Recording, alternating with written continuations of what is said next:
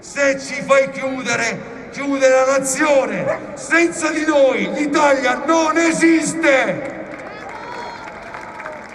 Non è bastato il varo del decreto Ristori appena pubblicato con una edizione straordinaria in gazzetta ufficiale a placare le proteste di commercianti, ristoratori, baristi, operatori delle palestre, titolari di centri scommesse e piccoli imprenditori artigiani che a Pescara, così come è avvenuto in maniera più pacifica all'Aquila e Vasto, ieri hanno manifestato contro il nuovo DPCM del governo Conte che di fatto ha determinato un nuovo lockdown per queste categorie.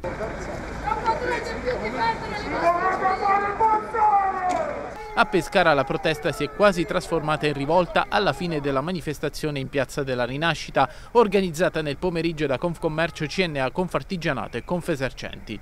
Ad alimentare la tensione già palpabile l'arrivo in ritardo del sindaco di Pescara Carlo Masci, contestato duramente e accusato di aver vessato con le multe e i controlli della municipale gli esercenti della città.